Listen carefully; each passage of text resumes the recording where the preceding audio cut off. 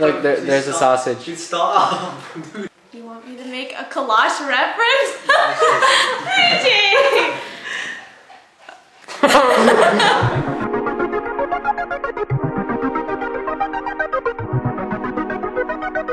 Gigi!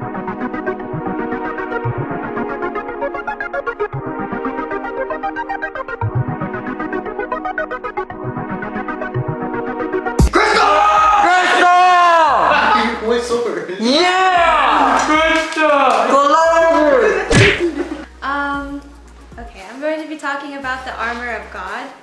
And there are six components to um, the armor of God. It's uh, the belt of truth, the breastplate of righteousness, the shield of faith, the helmet of salvation, the sword of the spirit, or God's word, and the sandals of peace. And that, like, wearing that armor every day kind of makes you spiritually dressed for success, I guess? Okay. And you're encouraged to wear this every day. So I'm going to basically be giving um, a small summary about the components of this armor and what it means to us. The first is the belt of truth. Uh, this is about knowing God's truth and accepting it and studying it. Um, you know that quote that says, um, the truth shall set you free? Mm-hmm. Yeah. Yeah.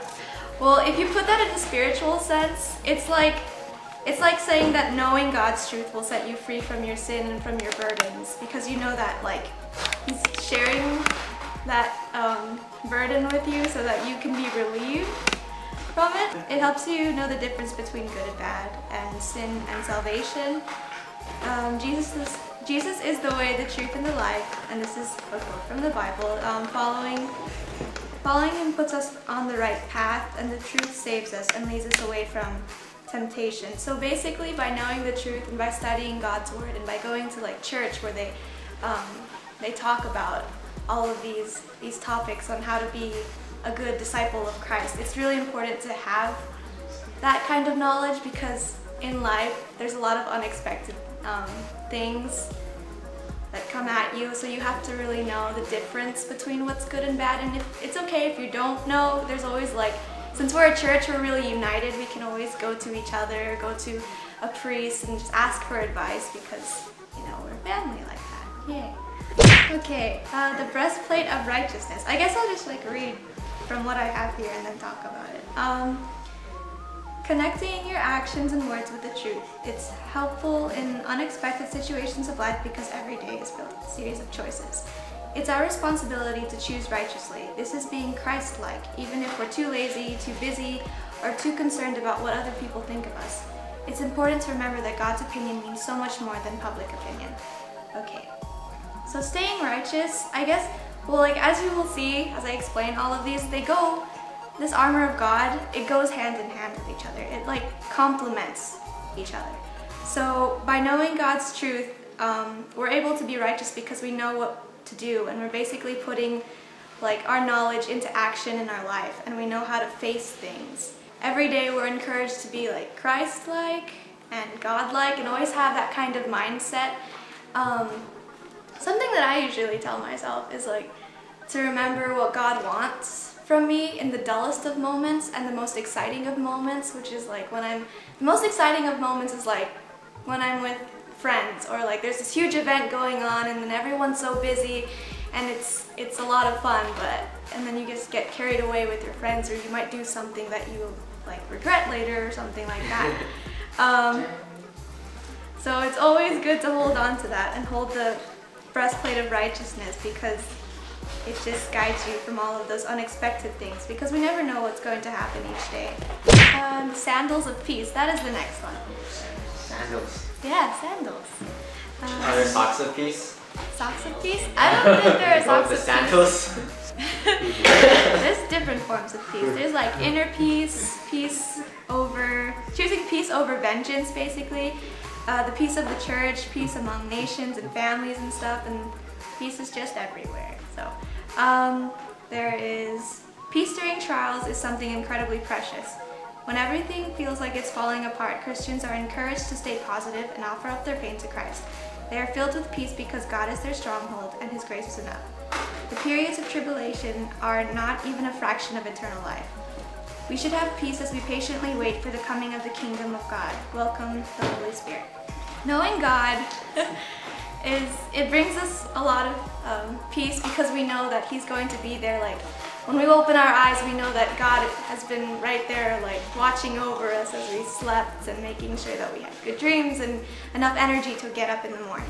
When we go to church, we always we feel that kind of peace because the Holy Spirit is present, especially when we accept the Eucharist, and we're just. Um, and I think it's a really beautiful thing because when we're at church, we get to be there with our families, and our families are united with other family families in our community, and we're just like this one united um, family in Christ. We are one body. So we have that kind of peace there, and we have the comfort of our family and our friends. Um, oh yeah, something that I mentioned earlier, peace over vengeance. That's something that a lot of people face today a lot, I guess, because they can, um, like, let's say someone gets really insulted because someone told them something, I guess.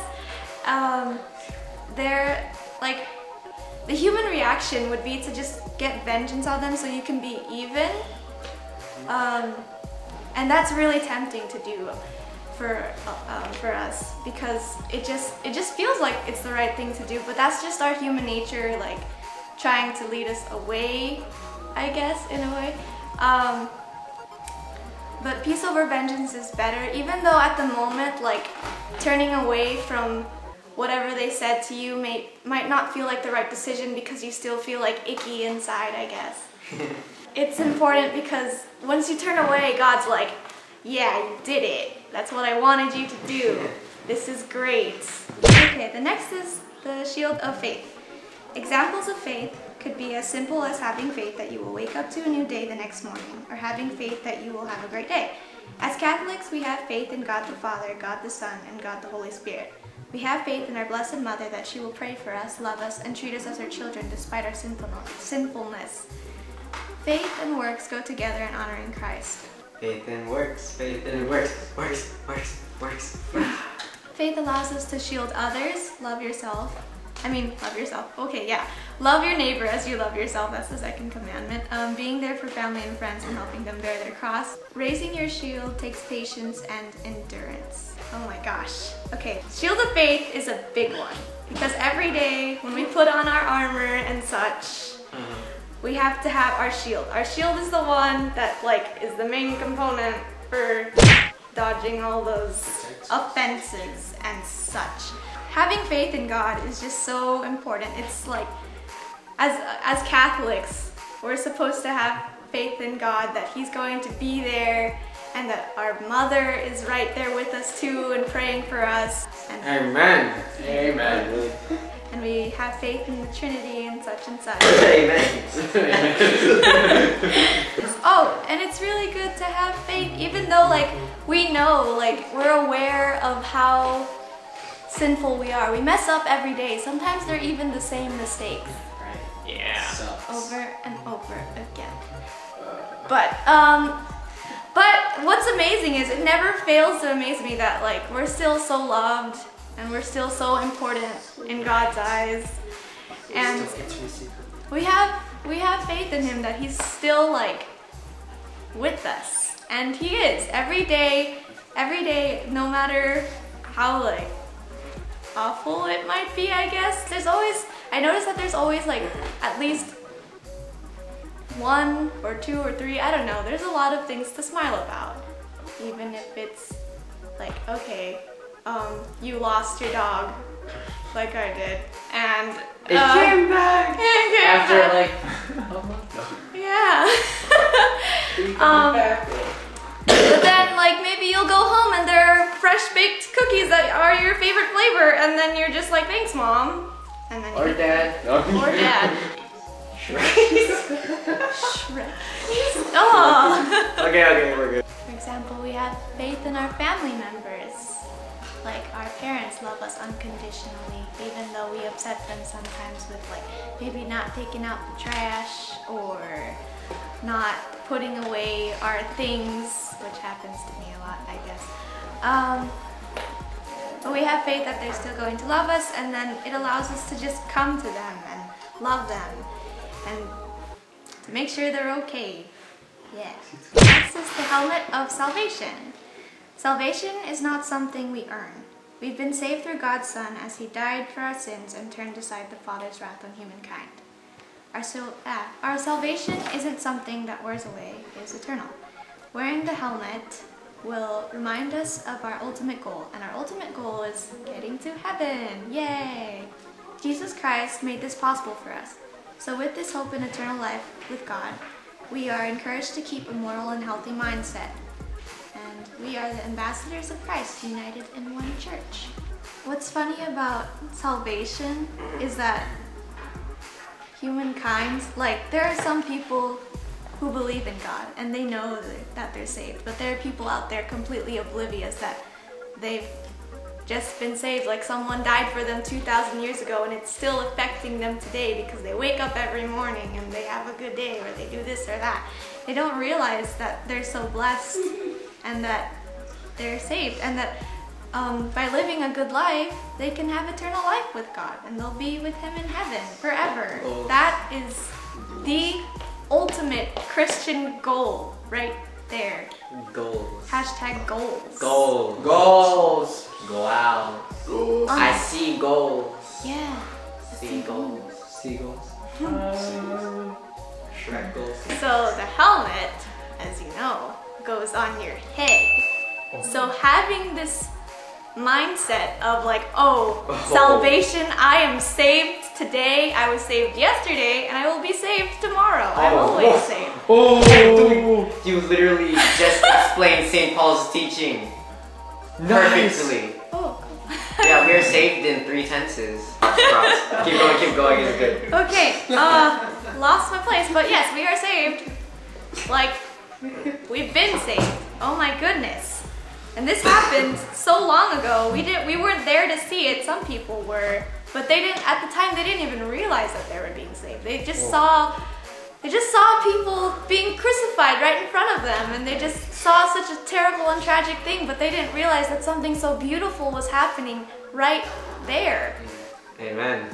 And then now, 2,000 years later, here we are. There's like a huge Catholic church, and we're just like, Yes. yes, Jesus died for us. Yes, Jesus. Sword of the Spirit, which is the Word of God. Um, this sword is able to pierce through the deepest levels of one's heart and attitude. It is a tool of discernment. An example of this would be um, when Jesus was tempted by the devil for 40 days. Yeah? Yeah. Yes. Okay. And then he used scripture against him. He was fasting and he was already like, he was getting kind of weak because he wanted, I guess, he needed food and he needed um, nourishment, but he was fasting. It was for good intentions. Even the devil couldn't like get him to fall into that temptation because he used scripture and he had faith in God. Yeah.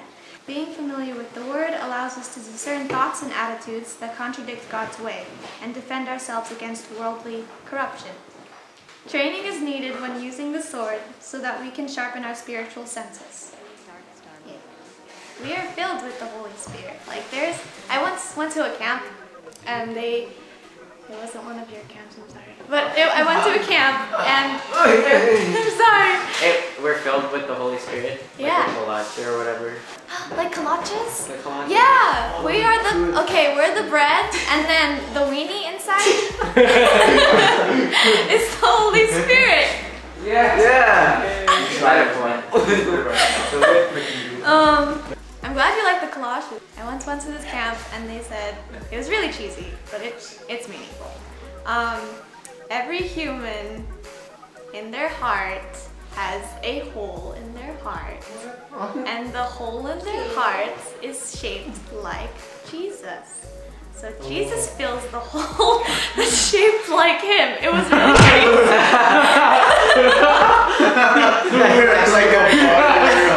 Yeah.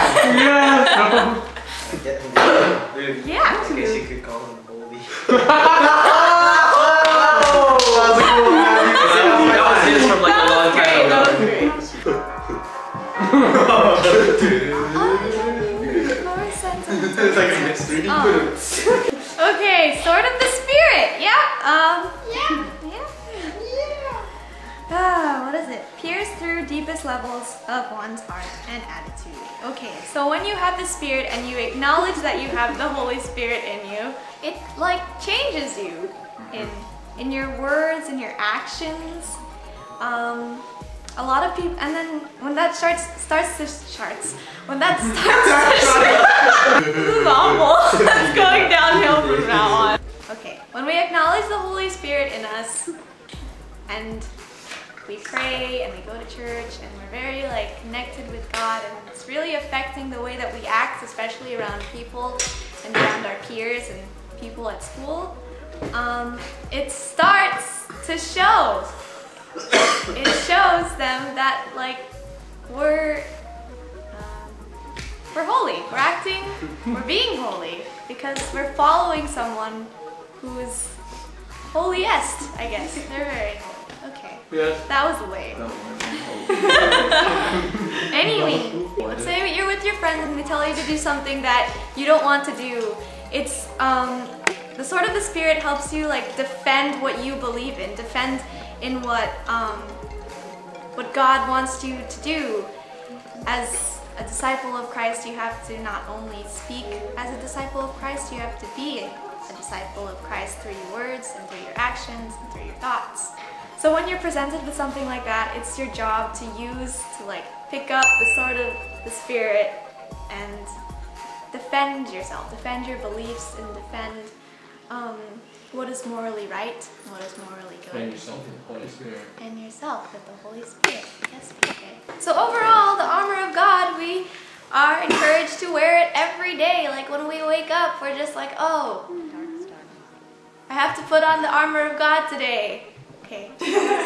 but yeah, in all seriousness, yes, we have to wear the belt of truth, the breastplate of righteousness, the shield of faith, the helmet of salvation, the sword of the Spirit, and the sandals of peace. And wearing all of this every single day of our lives will help us be better disciples of Christ and be better warriors of Christ, considering that we're wearing armor. Okay. Um. Yeah. Um, and this helps us like fend off temptations.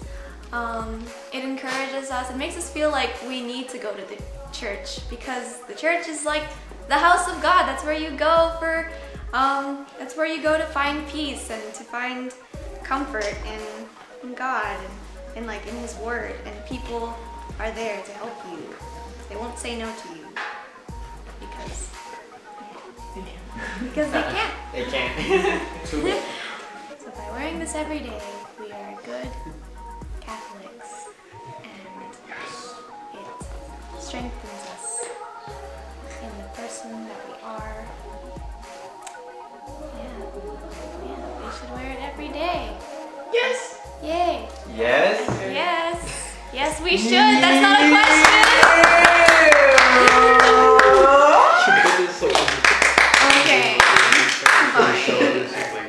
Hey guys, it's Ray. Hope you guys enjoyed that talk and lecture by my friend and sister in Christ, Krista Trovella. Uh, we have a lot more content on this channel. We have a lot more coming. Uh, we're barely getting started, so please bear with us on the videos. And if we take long, I'm sorry. But uh, there's more stuff on the way. We hope to continue making videos. We really want to help spread the Catholic faith and what we truly believe and bring others home to the church. And so if you support our mission, please um, subscribe. Please like our video, share it with your family, your friends, and pray for us. See ya. It's gonna be pretty interesting. Like more or less, but it actually just wounded.